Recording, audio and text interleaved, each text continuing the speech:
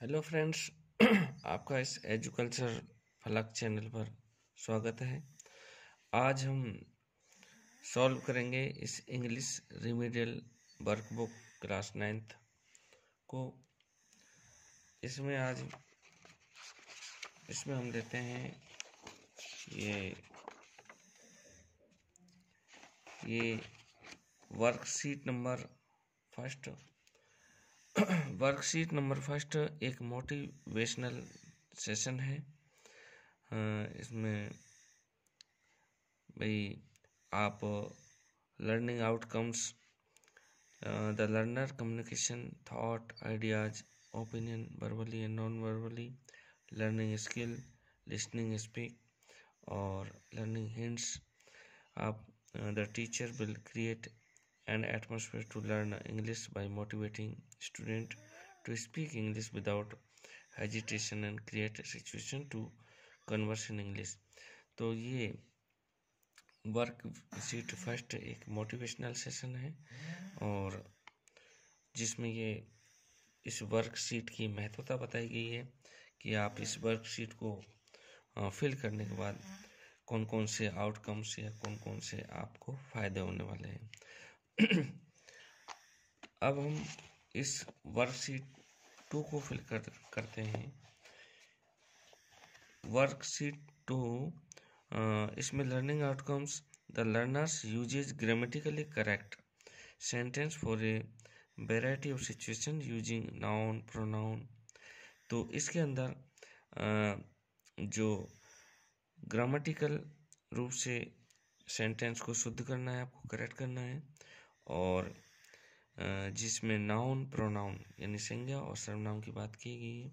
इसमें जो learning skill use ली है, वो रीडिंग और राइटिंग ली है।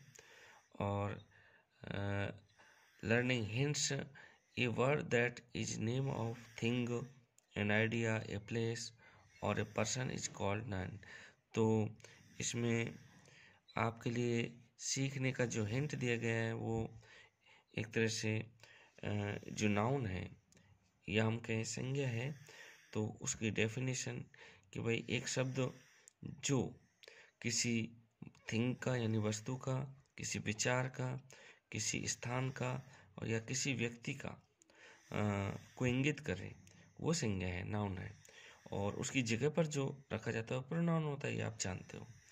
तो इसके लिए एग्ज़ाम दिया है, जैसे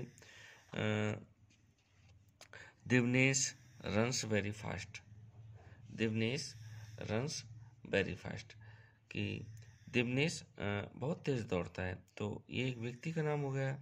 तो ये जो अंडरलाइन भी की हुई है तो ये एक नाउन का नाम है। इसी तरह Udaipur is known for its beautiful lakes Udaipur को सुंदर झीलों का सुंदर झीलों के लिए जाना जाता है। तो यहाँ पे ये स्थान का नाम हो गया उदयपुर तो ये नाउन हो गई। इसी तरह mobile phone is a very widely use device तो ये जो मोबाइल फ़ोन है, ये है बहुत बड़े रूप में प्रयोग लिया जाने वाला डिवाइस है, युक्ति है। तो ये जो मोबाइल फ़ोन है, ये किसी वस्तु का नाम हो गया तो ये नाउन हो गई। इसी तरह पॉवर्टी इज़ ए कॉस तो ये अवस्था का नाम है कि भाई गरीबी। गरीबी इज़ ए कोर्स। कोर्स यानी अभिशाप। गरीबी एक अभिशाप है। तो यहाँ पर ये अवस्था का नाम पॉवर्टी है। तो आ, ये नाउन क्या हो गया? पॉवर्टी हो गया।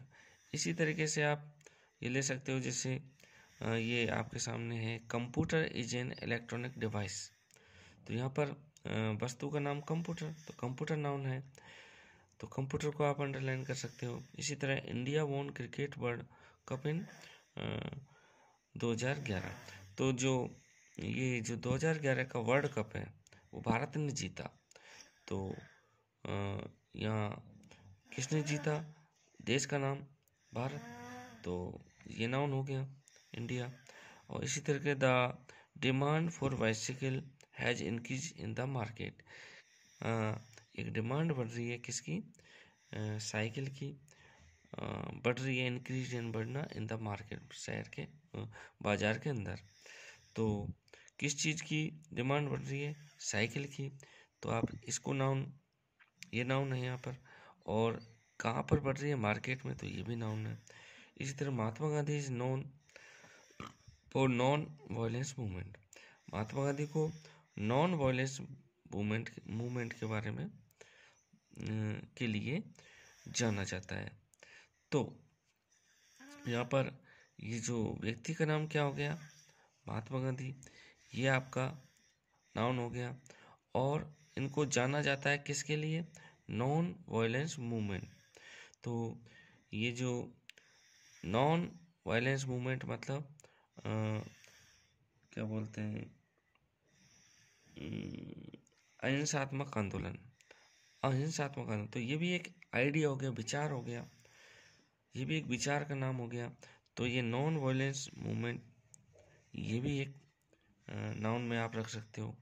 तो every one should maintain their dignity every one should maintain their dignity तो यहाँ पर प्रत्येक को रखनी चाहिए, बनाए रखनी चाहिए उसकी डिग्निटी तो यहाँ पे डिग्निटी अंडरलाइन हो गई। ठीक है? इसी तरीके से आप इन नाउन वर्ड को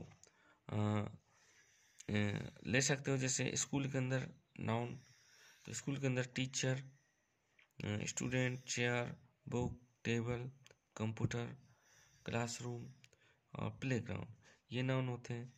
इसी तरीके से आप घर में नाउन वाली चीज़ों को देख सकते हो। जैसे father mother sister brother, television, phone, kitchen और रूम।